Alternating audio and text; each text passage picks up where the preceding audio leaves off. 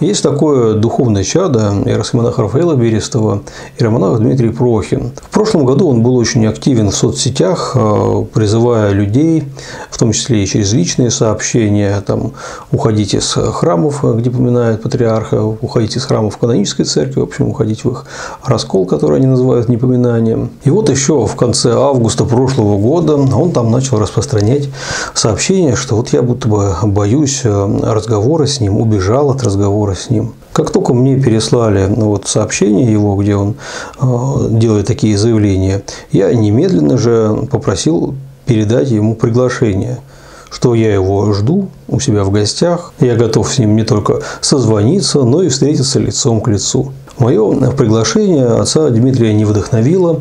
Он стал говорить, что у него там денег нет на проезд, хотя в то же самое время он писал там другому раскольнику, что готов для встречи с ним приехать в любое место России. В общем, короче говоря, приезжать он отказался, сославшись на нехватку денег. Он там в Краснодарском крае э, в то время орудовал, не знаю, где сейчас он находится. Потом он, правда, осенью еще приезжал в Москву и тоже вот до меня не добрался, видимо, и на проезд по Москве у него денег не нашлось. Ну, не захотел человек приехать и не захотел, собственно говоря, его право.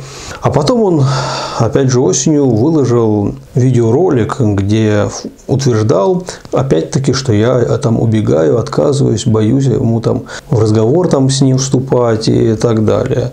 После этого я уже записал ролик, непосредственно посвященный его лжеучениям, в котором задавал ему конкретные вопросы, и разоблачал его, скажем мягко, неправду относительно того, что я там убегаю, боюсь э, с ним общаться. Дальше заявляется, что я будто бы сбежал от диалога с э, иеромонахом Дмитрием. Причем, что забавно, он приводит часть переписки, и, в принципе, его зрители могут остановить и присмотреться и увидеть, что я приглашаю его на встречу. А что было после этого моего приглашения на встречу? Это отец Дмитрий не приводит. Э, а я могу сказать, что было. Он отказался приезжать на встречу со мной. Так это я сбежал от диалога. Что они приехали, чаем бы угостил, поговорили бы, все обсудили бы, записали бы наш разговор, выложили бы потом в интернет. Все бы получили большую пользу. Кто от кого убежал? Ну зачем так по-мелкому врать-то?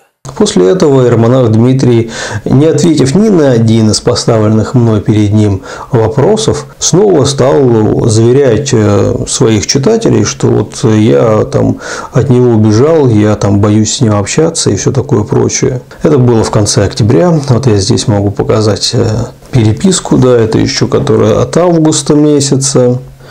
В общем, там и Романах Дмитрий, то, что Мария ему сказала, что она с ним не хочет общаться по телефону, выставил, э, вырезав э, все остальное и обрезав мое приглашение ему, а он это представил как то, что это я якобы боюсь с ним общаться. И когда сама Мария написала ему об этом, вот как видите, я ему уже написала, что неправда, что якобы я сказала, что вы боитесь с ним общаться. Это я говорила про себя. Ну и Романах Дмитрий, как вы можете догадаться, даже после того, как ему сама Мария, через которую мы переписывались, а, объяснила это, никаких ни извинений, там, ни даже исправлений вносить не стал. В конце декабря он у себя на странице сделал объявление, что в эти выходные буду в Москве, могу встретиться с любым пожелающим того, ну и, конечно, с Иреем Георгием Максимовым на любой нейтральной территории. Да, это он для своих подписчиков писал, мне лично он ничего не пересылал, это мне переслали там те люди, которые читают его страницу. Я высказал пожелание, что да, выходные хорошо, без проблем. Через Игорь я ему передал.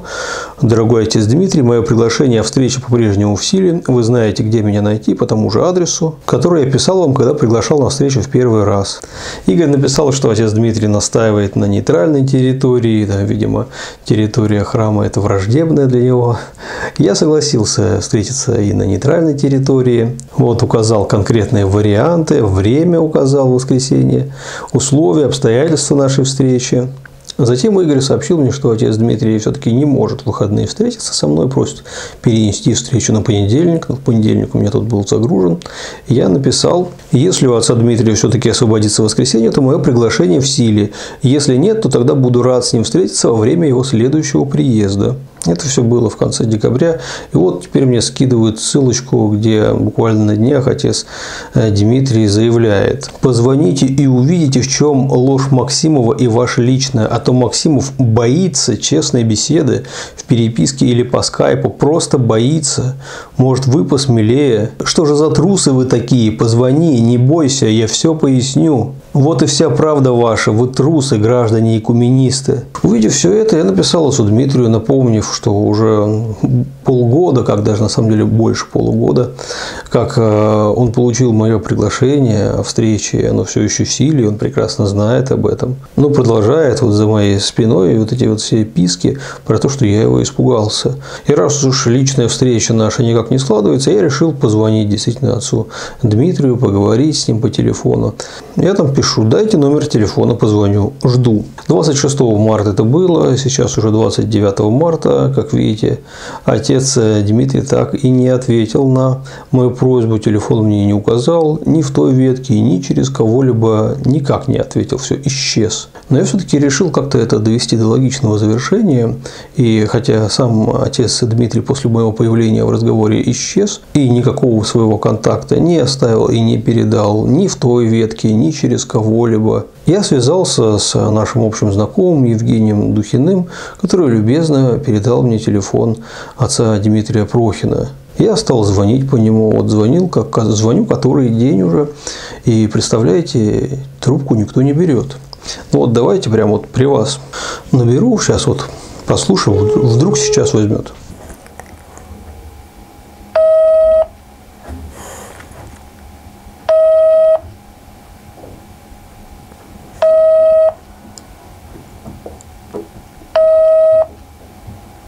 Извини, что так долго, но вот как бы...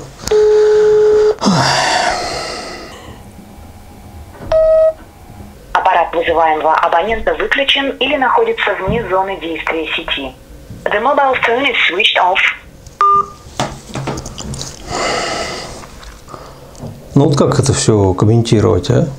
Вот как бы я это не прокомментировал, ну, это будет обидно для отца Дмитрия. А у меня нет желания его как-то обижать. Я просто не понимаю, что это такое. Это какой-то детский сад. Ну, там постоянно врать, э, бегать от э, встречи, бегать от телефонного разговора, бегать от ответов на поставленные перед тобой вопросы. И при этом заявлять, что это наоборот. Тот человек, который тебе задал вопрос, он от тебя убегает. Я не знаю, ну что это, как это? Это один из тех, кого называют вот эти непоминающие исповедниками, чтобы вы знали, как выглядит исповедничество. Вот я, честно скажу, не знаю, как это все комментировать. Ну, вы сами можете э, сделать выводы. Или даже лучше пусть э, прокомментирует сам отец Дмитрий. Давайте зачитаем один его комментарий. Он просто, как всегда, сбежал от честного диалога. Просто сбежал. Не буду давать ему характеристику. Насчет бреда про трусость, мол, по телефону опасно. Вы серьезно? Вы вообще кого боитесь? Я, честно говоря, думал, что запишу видео с ним, выложу его для вашего сведения. Но, как, как видите, а, ситуация вот такая. Я уже устал от этого вот э, поведения отца Дмитрия Прохина. Думаю, это мое последнее видео, посвященное ему. Разве что что-то такое совершенно выдающееся произойдет. Знаете, я бы не хотел, чтобы вы воспринимали это как то, что вот там отец Дмитрий плохой человек. Нет, я не верю, что он плохой человек. Там он был раньше офицером, выдающимся офицером, все бросил, ушел в монастырь, монашество принял, церковь его удостоила священного сана, кого попало, этого не удостаивает. Я уверен, что он хороший человек, но просто это хороший человек, который встал на плохой путь. И то, что этот плохой, ложный, неверный путь с ним сделал, к чему он его привел, мне кажется, данная история, она ну, вполне наглядно показывает. Дай Бог отцу Дмитрию свернуть с этого пути и вернуться на путь истинный. И тем, кто ему поверил. Ну а в случае, если он в разговоре с вами будет опять говорить, что там Максимов боится со мной разговаривать, убежал от разговора со мной, ну вы дайте ссылочку ему на это видео. Отец Дмитрий, дорогой, переживаю за вас. Если уже сейчас вот а, путь раскола вас до этого довел, что же дальше-то будет?